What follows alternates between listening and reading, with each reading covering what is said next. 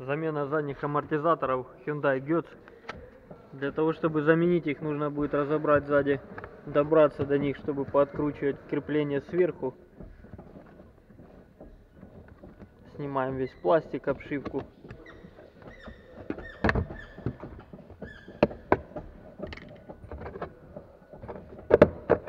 И добрались до штока. Здесь нужно будет двумя ключами. Одним удерживать шток, вторым откручивать гаечку.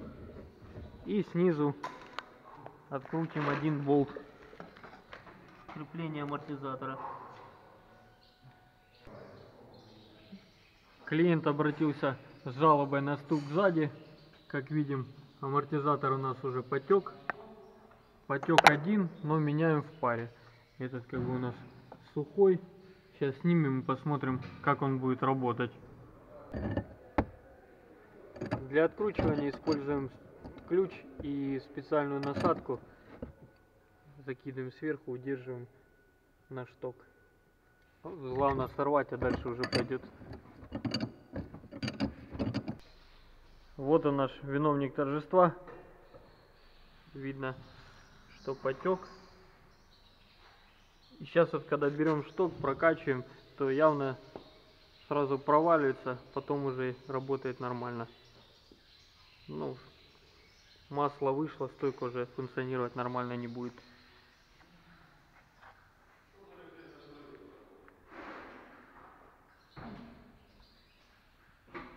То есть она будет стучать. А вот у нас вторая стойка. Стойки у нас стояли газомасляные, это осталось целое. Ну, как я уже сказал, меняем все равно в паре. Стойка полностью рабочая.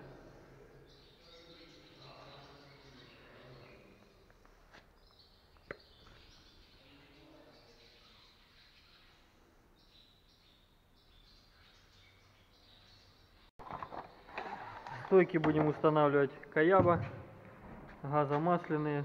Перед установкой несколько раз прокачаем. Рекомендуется устанавливать вместе с новыми пыльниками-отбойниками, но в целях экономии клиент решил установить старые. Желание клиента закон. Так что новые стойки ставим старые пыльники-отбойники. Верхние подушечки у нас в хорошем состоянии. И собираем все обратно.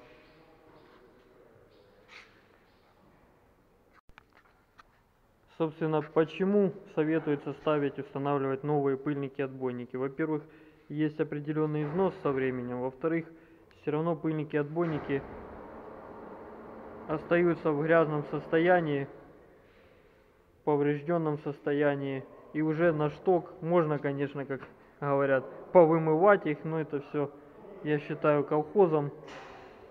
Если оно должно быть новое, то должно быть новое чтобы была защита амортизатора, самого штока амортизатора от грязи, пыли лишней, от камней, от повреждения дольше прослужат. И плюс, если брать во внимание Каябу, то гарантия на них распространяется только когда устанавливаются новые пыльники-отбойники. В другом случае гарантия недействительна. Потекший амортизатор это далеко не все неисправности, которые могут быть на амортизаторах. Также очень часто разбиваются сайлентблоки. Ну а мы заканчиваем установку в надежде на то, что видео вам пригодилось.